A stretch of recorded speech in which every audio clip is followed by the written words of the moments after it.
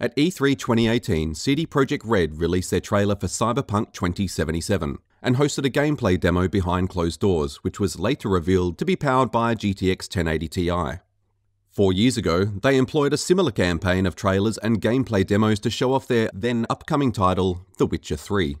With each subsequent release of footage, however, fans began to notice the game looking discernibly worse. The Witcher 3 launched in 2015 to critical acclaim, However, discontent was brewing in the PC community over the game's visuals, specifically about how they paled in comparison to the game's earliest trailers. This did not come as a surprise, as many noted the game looking worse with every subsequent trailer the developers released in the months leading up to the game's launch. The developers, for their part, repeatedly denied any mention of a downgrade right up to the day of release. We are not downgrading it. Uh, we are optimizing the game, but in a way that um, doesn't affect the visuals.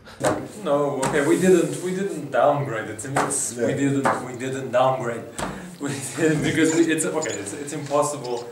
It was these assurances that many of their loyal fans placed their faith in, a faith that ultimately turned out to be misplaced. Since the game's launch, several comparison videos were made of the visuals, and the degradation was all but undeniable. This is not to say The Witcher 3 is not a beautiful game in its current form. Indeed, it is still a very good looking game, but it used to look even better, and that's the rub. Fast forward to 2018, it's been 17 months since Witcher 3 received its final patch on PC, version 1.31. The game can be reasonably assumed to have reached the end of its development cycle. We can now analyse the downgrade with the benefit of hindsight and examine what, if anything, CD Projekt Red has since done to make up for it. Let's start from the beginning by looking at the trailers that set expectations so high in the first place. All trailers and gameplay footage have been obtained from Gamersyde.com in their uncompressed form. The first video we'll be analysing is the E3 debut gameplay trailer, screened in June 2013. This trailer can be problematic as it intersperses gameplay with pre-rendered footage from the Killing Monsters cinematic. However, it is easy to spot if you know what to look for, and even if you don't, we will throw up a visual indicator when we get to the cinematic part.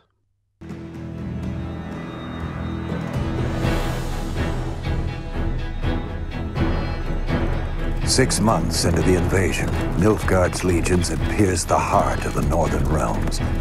Behind them, blood-soaked fields, war-swept wastes. A lone wolf roamed these broken lands, a beast slayer, a whirlwind of rage and steel. They say he was a man obsessed, chasing memories, faces, scents. Yet amidst the chaos, he could only follow his heart.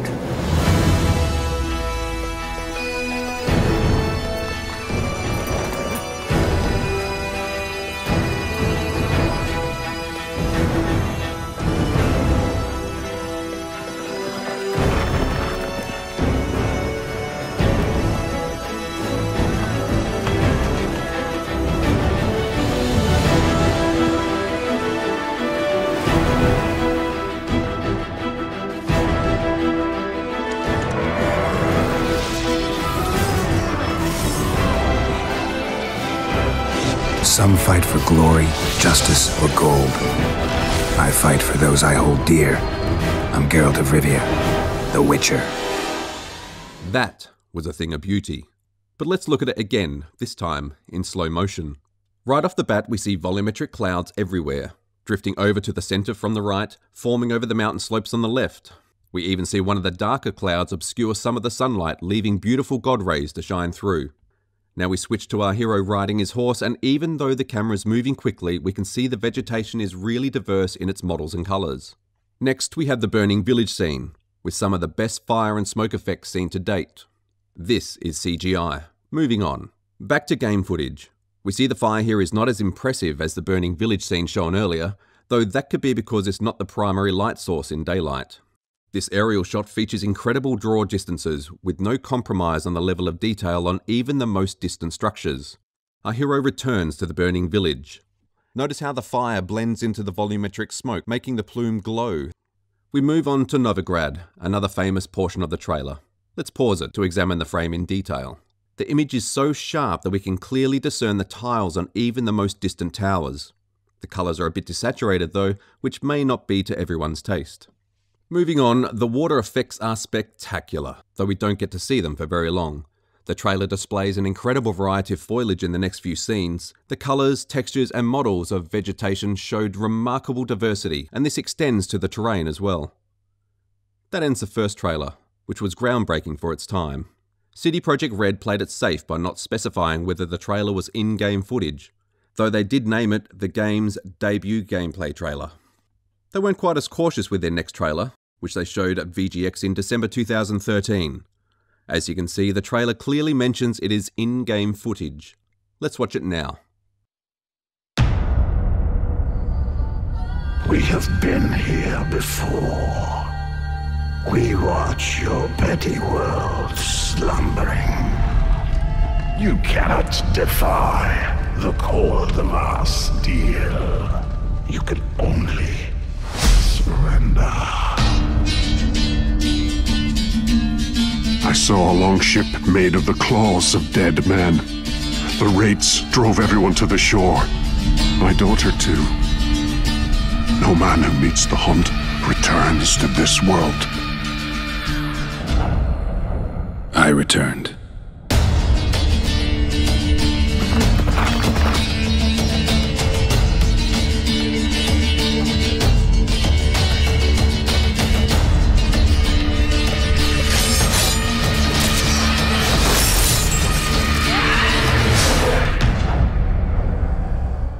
Let's look at it again, this time in slow motion. The trailer opens by reusing the burning village scene from the last debut gameplay trailer. We then see some new footage of the Wild Hunt walking amidst the inferno. The fire here is not nearly as impressive without the volumetric smoke, and the flames do look somewhat flatter and more two dimensional. The textures and tessellation on the Wild Hunt's armour is impressive though. Moving on to Geralt riding his horse. Take a look at that skybox. It is gorgeous thanks to its clouds, showing incredible variance in formations, colours, and lighting. The volumetric smoke spewing from the two chimneys also deserves a mention, and the extreme draw distances keep the distant river and mountains visible. Moving on, this aerial shot of Novigrad contains no less than 15 instances of chimneys spewing volumetric smoke. I'd sound like a broken record if I fawned over the drawn distances again, but it would be criminal negligence if I didn't. Special mention has to be made about the sharpness of the image, the level of detail, and the vibrant colour palette. One month after releasing this trailer, CD Projekt Red's co founder gave an interview to IGN in which he stated they were looking to release the RedKit sometime after the game launches for the modding community, adding, People can create their own adventures, and this will inevitably add a lot of fun and replayability to the game. Ultimately, though, this was not to be, but more on that later. CD Projekt Red released the next trailer, The Sword of Destiny, in June 2014. Let's watch it now.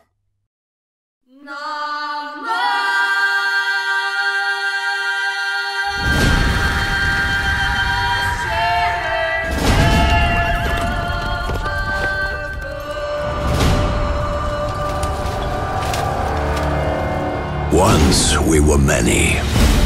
Now we are few. Hunters, killers of the world's filth. Witchers, the ultimate killing machines. Among us, a legend.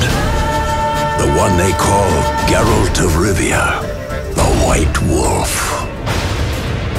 We meet again, Witcher. Your Imperial Majesty. She's returned, Geralt. After all these years. Are you sure it's her? Yes. And she's in danger. Witnesses claim the Wild Hunt follows her. You must find her. And when I do, what then? I shall give her what she deserves.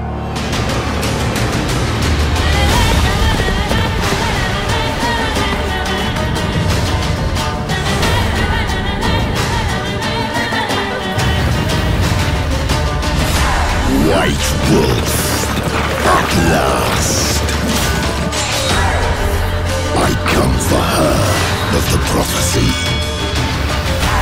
Every decision you make will bring devastation. Each choice will lead to a greater evil.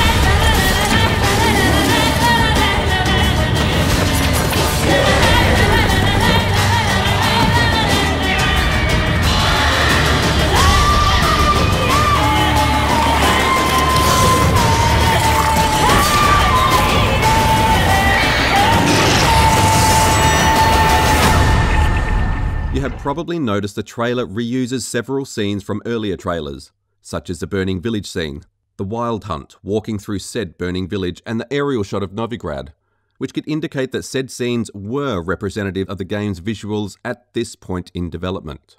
That being said, most of the trailer showcased new footage, so let's have another look at it, this time in slow motion. The trailer opens with a short, nighttime shot of the Hanged Man's tree. The lighting and clouds are striking in their quality. Even at night, they display impressive detail and variety in colours, layers, and brightness. The next scene brings us to a group of horsemen riding down a road, the foliage here looks notably simpler than we've seen in previous trailers. This also applies to the next scene where we see soldiers walking through a dimly lit forest. The vegetation regains its fidelity in this third scene, which also showcases volumetric fog blanketing the forest in the distance. The courtroom scene features impressive lighting and fire effects. Note how the flame spirals as it ascends the torch. The next scene appears to have been edited with post-process filters and I'm not a fan of the bloom. Also, the textures on the tree to the left look rather warped.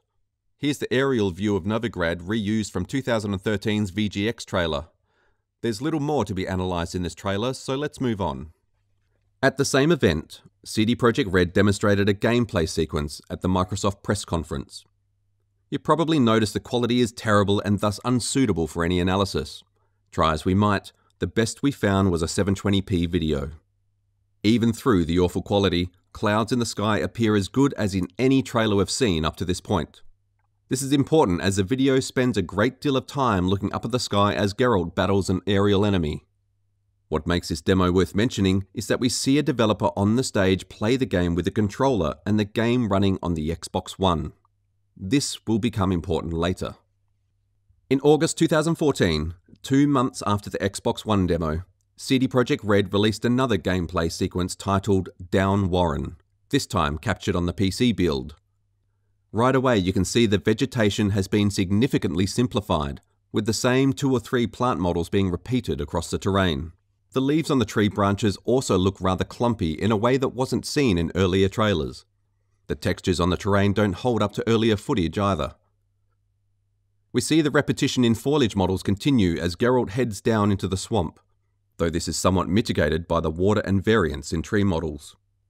The clouds don't appear to have changed, in what little we see of them. One week later, a 35 minute gameplay demo is released that begins with a stroll through Novigrad. This is a more comprehensive playthrough of the same mission previewed in the previous two demos. This sequence is far too long for us to cover in its entirety, but we can compare it to how the same location looks in the final build of the game. On the left is a demo from 2014, on the right is the same route captured from the Game of the Year edition, under identical weather conditions. You should immediately notice a striking difference in the sky, which had a much deeper, richer shade of blue in the 2014 video. The clouds on the left have far greater depth, dimension, and variety in shapes, colours, levels of transparency, and brightness. The wall on the right appears significantly less tessellated next to the 2014 footage. Overall, the final product looks considerably more dull and less vibrant than the 2014 demo. To be fair, we did not have the final product to compare the sequence to when it was shown in August of 2014. That being said, the Novigrad shown in the demo looks remarkably different from the aerial shot of the city shown in the Sword of Destiny trailer, released just two months prior. Volumetric smoke saw perhaps the greatest change between the two.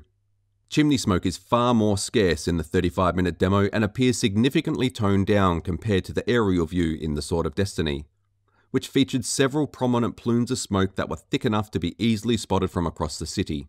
That begs the question did Novigrad still look like that aerial shot at the time The Sword of Destiny was shown? The most likely answer is no, as the aerial view was reused from the VGX trailer first shown in December 2013. CD Projekt Red later admitted after the game's 2015 release that the rendering system after VGX was changed. So why was the aerial shot from VGX reused in 2014 Sword of Destiny, when its visuals were no longer representative of the game at that point? Presumably because the differences were minor enough that most watching wouldn't notice. That wasn't the case with their next gameplay trailer, Elder Blood, released in December of 2014. Everybody noticed the degradation in quality of everything from textures to terrain to particle effects. The uproar became so heated that the developer released a statement in an attempt to defuse the situation, stating, We have encountered some horrible YouTube compression problems. He then assured readers that there will be no downgrade. That was a bold faced lie. We have seen and used the uncompressed version of the Elder Blood trailer in the production of this analysis, and the downgrade is clear as day. Still, many fans chose to cling on to CD Projekt Red's claims, despite visual evidence mounting to the contrary. Keep in mind, this was the year of Watch Dogs, a game that brought downgrading to the forefront. Indeed, Watch Dogs was eviscerated for the degeneration in lighting, textures, and particle effects, even though modders were able to retrieve many of the aforementioned effects from the game files and activate them in game. CD Projekt Red were banking on the impeccable record they had maintained to push this lie, continuing to deny the downgrade right up until the game's release. Less than a week before The Witcher 3's launch date, a visual effects artist gave an interview in which he emphatically rejected any mention of a downgrade about that. No, I mean, no. Okay, we didn't. We didn't downgrade it. It's, yeah. We didn't. We didn't downgrade. We didn't because we, it's okay. It's, it's impossible. It's impossible to downgrade a game that didn't exist before or wasn't playable before. So why did the trailer say in-game footage? There was no grade, no grade to downgrade. So yeah. there's, he was comparing. He's comparing a final product with a product that wasn't playable, that wasn't a game yet. So is mistake. There are two things that people have to separate. This mm. downgrade is downgrade and optimization. Optimization is necessary to make the game run. Uh, downgrade is when you, you know, if you deliberately make the game worse uh, for some, for whatever reason, to make the game run. I mean, that's not, that's totally not what happened. And Notice how he stops his dichotomy between downgrade and optimization mid-sentence. He probably realized that he admitted that they did both downgraded the visuals in the process of optimizing the game. Optimal optimization improves game performance while preserving visual fidelity, which is not what happened here. It's very unfair to compare uh, trailers and gameplay demos. Very well. Our analysis compared the 2014 gameplay demo to the final product, and the downgrade in lighting and cloud quality is immediately apparent. The trailer is the trailer is a beautiful shot, right? The trailer is this prepared, you take one location, you put the perfect lights and the perfect camera angle and the perfect center, and it looks absolutely beautiful and it's captured at super high definition and then you post-process it in a video. So the game didn't look like that in motion even back in 2013? So why did you call it a gameplay trailer then? Why didn't you just call it a trailer? If it was that extensively edited, you could have avoided a lot of trouble by calling it a cinematic trailer, like you did with Killing Monsters. Nobody expected the game to look like the visuals in Killing Monsters. Gameplay demos, that's when the that's when you see the real game. That's when you see, you know, what the real game looks like. Yeah, we compared the 2014 game demo to the real game, and the final product looks discernibly worse. Since you insist, We'll take another crack at the comparison with another section of the 2014 demo. Look at the sky, the clouds, the colours, the vegetation. The difference is striking. The game was downgraded after the gameplay demo. And we had, basically we had what? We had three or four videos, gameplay videos. We had one in 2013, which was a demo in Skellige, which was really long time ago, and actually uh, shortly after that demo, we completely, if you look at that demo, the graphics look totally different. They look uh, totally different because at the time we were using a very old shader system. It wasn't this physically based shader with all the reflections and the shiny metals and everything. It was a very, it was a little bit flatter. It was sharp, some, some things were very sharp, too sharp even. We had some problems with the vegetation that they had a sharpen, uh, sharpening filter that it didn't work. It's, after a while it would, uh, it it was uncomfortable for the eyes. It's very hard to describe, but it yeah. was when walking through the forest, sharp vegetation is terrible. So we changed the whole shader uh, system. Why didn't you say so five months prior when people raised concerns about the Elder Blood trailer? Why did you blame it all on YouTube compression when you knew the shaders were completely revamped? Why did you pretend like nothing had changed? Fast forward one week to the game's release, and gamers were finally able to play The Witcher 3 and compare the visuals to the trailer for themselves. CD Projekt Red could not deny the downgrade any longer and admitted in an interview that the rendering system after VGX was changed. There were two possible rendering systems, but one won out because it looked nicer across the whole world in daytime and at nighttime. When checking this fact, we came across a leaked NVIDIA presentation from E3 2013, six months prior to VGX. It clearly draws a comparison between old renderer and newer effects, implying the change of rendering system had already taken place before the game's very first reveal. CD Projekt Red went on to state that the billowing smoke and roaring fire from the 2013 trailers were removed because it was a global system and would have killed PC because of transparencies. This represents a fundamental shift in design principles from their previous game, The Witcher 2 Assassins of Kings. The Witcher 2 featured a setting called uber sampling, which crippled performance when activated. Given that using it was impossibly impractical at the time of its release, did CD Projekt Red cut it out of the game? No. They left it in as they knew that with the passage of time, hardware would progress to the point of being able to use uber sampling whilst maintaining playable performance. They realised that uber sampling gave players a reason to return to The Witcher 2 years after its release, in effect giving the game greater longevity. Even so, uber sampling was still available in the game back in 2011. Something tells me Uber sampling wouldn't be an option if The Witcher 2 were released today, or in 2015 for that matter. So why didn't CD Projekt Red continue that approach and keep those particle effects available for those who had the hardware to run it? We can see from the leaked NVIDIA presentation that even in 2013, these effects could be disabled at a whim it could be argued that this effect has a far more profound impact on visuals than uber sampling did in The Witcher 2. Why couldn't soft particles be relegated to a separate graphics menu like in GTA 5? The menu option could have made it clear it would be extremely taxing to use. Why was it removed entirely? Many PC players speculated the limitations of console hardware was responsible for the downgrade, but CD Projekt Red's co-founder disagreed, stating, If the consoles are not involved, there is no Witcher 3 as it is. However, he went on to concede that developing only for the PC, yes, probably we could get more in terms of graphics as there would be nothing else. They would be so focused, like if we would develop only on Xbox One or the PlayStation 4. But then we cannot afford such a game. This is a poor excuse for settling on platform parity.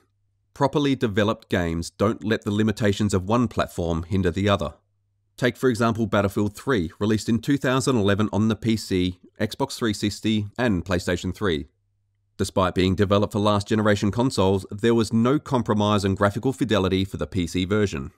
As a result, Battlefield 3 on the PC was way ahead of its time in terms of graphics and can even hold its own visually against titles released 6 or 7 years later.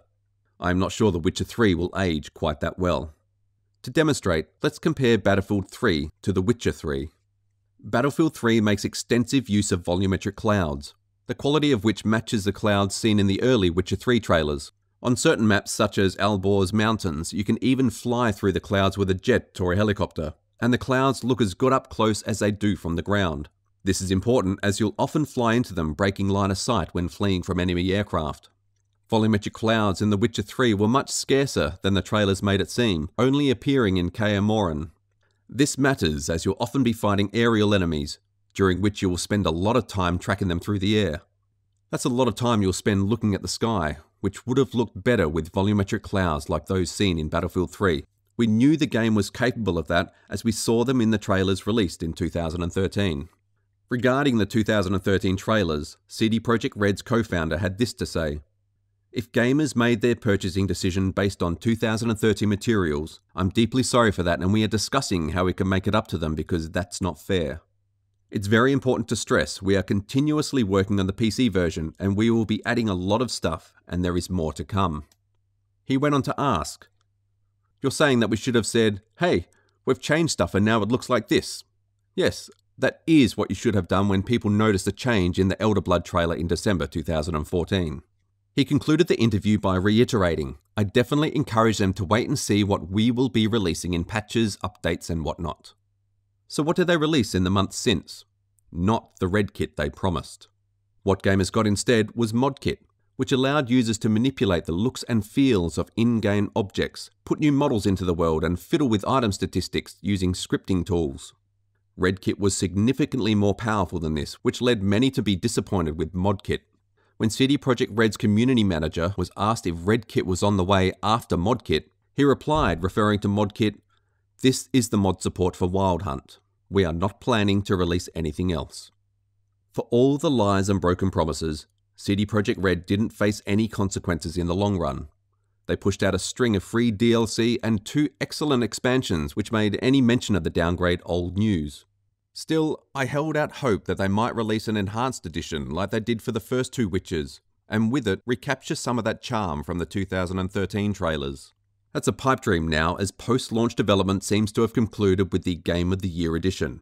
Indeed, The Witcher 3 is unlikely to receive any further updates, with CD Projekt Red's focus now on Cyberpunk 2077. Speaking of which, what does this bode for Cyberpunk? There is no doubt it will be a fantastic game. Just keep in mind while you watch the trailers, what you see may not be what you get. Even if this is the case, CD Projekt Red will still be fine thanks to the goodwill they've built up over the years with their DRM free game store, GOG. This is particularly important at a time when many publishers try to stack as many DRMs into games as they can in a misguided effort to stave off piracy. Our next videos will analyse the most notorious of these, Denuvo, exploring its history and testing its performance impact on several games that have removed it post launch. Please like, subscribe, and hit the bell button icon so you don't miss out. Until then, feel free to watch our previous videos which explore the history of loot boxes or analyse why games go politically correct.